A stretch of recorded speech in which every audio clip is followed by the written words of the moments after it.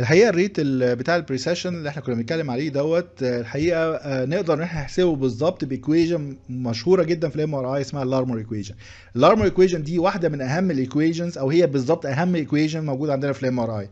بتقول لنا ال frequency بتاعت ال precession omega بتساوي gamma gyromagnetic ratio times ال B zero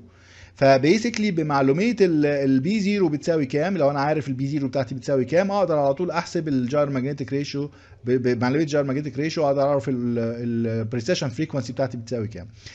for example لو إحنا بنتكلم على ال hydrogen nucleus مثلا for example كمثال يعني اللي بنتكلم على gyromagnetic ratio بتاعتها بتساوي 42.6 ميجا هرتز per تسلا. يبقى معنى كده لما بتكلم على 1 تسلا هنا يبقى معنى كده أتوقع إن ال frequency بتاعتي بتاعت ال precession بتبقى حوالي 42.6 ميجا هرتز فدي طبعا مهمة جدا لأن هي دي ال frequency بتاعت ال signal بتاعت ال MRI اللي أنا بستقبلها. في غاية الأهمية إن أنا أكون عارف الموضوع ده. لو أنا بتكلم على نفس ذرة الهيدروجين برضو وكنت بتكلم على 1.5 تسلا يبقى معنى كده أضرب 42.6 times 1.5 لو كنت بتكلم على 3 تسلا يبقى أضربها في 3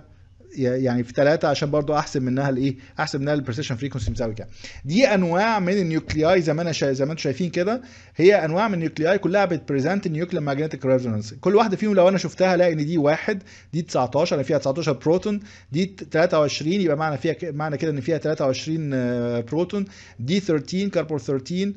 أه بتكلم على ال 13 ده بتكلم على المجموع بتاع ال protons وال neutrons اللي هي بتكلم على إن هي فيها 13 يعني في عدد من النيوترونز بتاعتي تبقى odd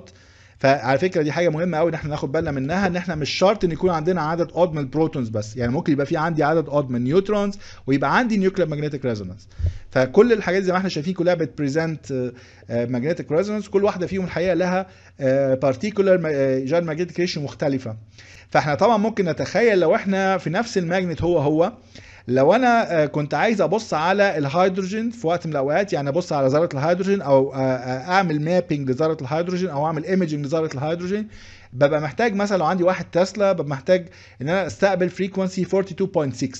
يعني ال coil بتاعي اللي بيستقبل المفروض يبقى بيستقبل ال frequency دي. okay؟ طب لو أنا بتكلم على نفس الواحد تسلا دي مع الكربون 13 لا كربون 13 بتكلم على حاجة أقل بكتير بتكلم على 10.7 ميجا هرتز okay؟ فعامة لازم نبقى عارفين كويس قوي إحنا بنعمل imaging لإيه لأن على أساس كده بيتغير ال gyromagnetic ratio وعلى أساس كده بتتغير لي ال precession frequency بتاعتي وبالتالي لازم ال coil بتاعي يتغير. يعني نفس ال magnet هو هو أو نفس ال magnetic resonance imaging system بتاعي بيبقى هو هو بركب له يعني coil مختلف وبيبقى فيه hardware مختلف بيبقى ال frequency response بتاعه مختلف عشان أقدر أستعمله إن أنا أصور based على الهيدروجين أو على الصوديوم أو على الكربون 13 أو الحاجات دي كلها. بيبقى هو نفس ال system هو هو يعني من ناحية ال magnetic